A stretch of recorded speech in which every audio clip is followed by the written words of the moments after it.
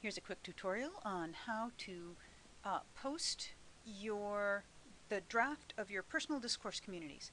So here I am in PowerPoint and in PowerPoint I made the um, I made my uh, my personal discourse community thing uh, and then I'm going to go into file and I want to uh, save this guy I want to save it uh, under my last name, Benander Personal Discourse Community Map. And this way I'll be able to remember what it is. And because I'm going to post this, I want to save it, well, first I'm going to save it as a PowerPoint presentation. Yes, so that I can go in and I can edit this if I need to. However, I also want, then want to go into Save As and I want to save this as a PDF because that'll be easier for people to open on the computer. So now I've saved it two ways. So I'm going to minimize this and I'm going to go into my website. So here's my um, WordPress site and I'm going to go up here to my dashboard. And I wait for my dashboard to load. And in my dashboard, I'm going to go down to Pages and I want to add a new page add new. So here I am, and my new page, I have to give it a title, and this will be Personal Discourse Community Map. Whoops, map. Hello. Now here's my paragraph place.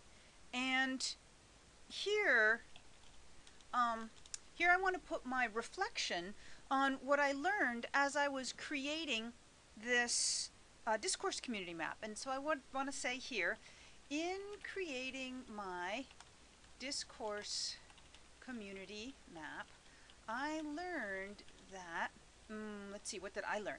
I learned that the majority of the writing I do is formal writing for work. In my um, other communities, like at the dojo and when when I'm traveling, I don't do much writing. Therefore, um, I find most of my writing is very formal, as is expected in the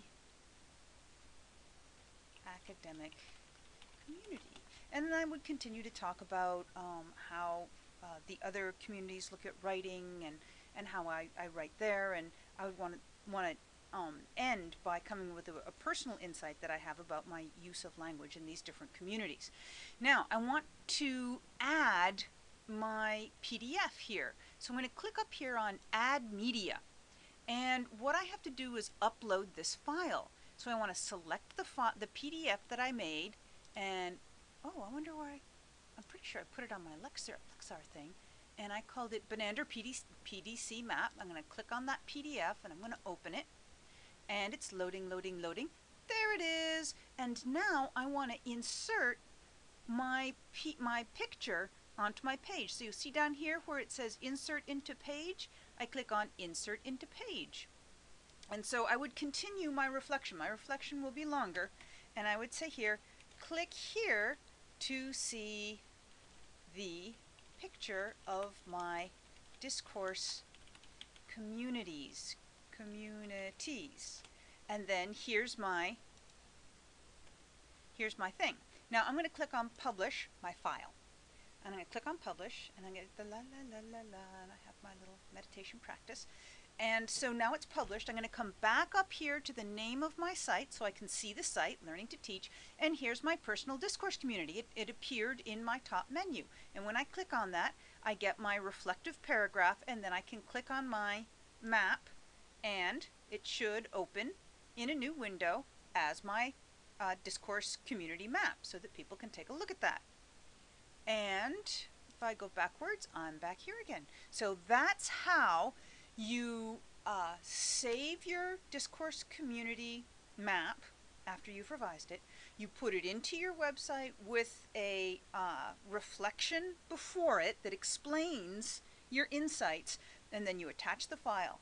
So, if you have any trouble, remember don't fight more than 10 minutes with the with the um, software and then send me an email. I'll be on my email all weekend and I'll be able to help you out.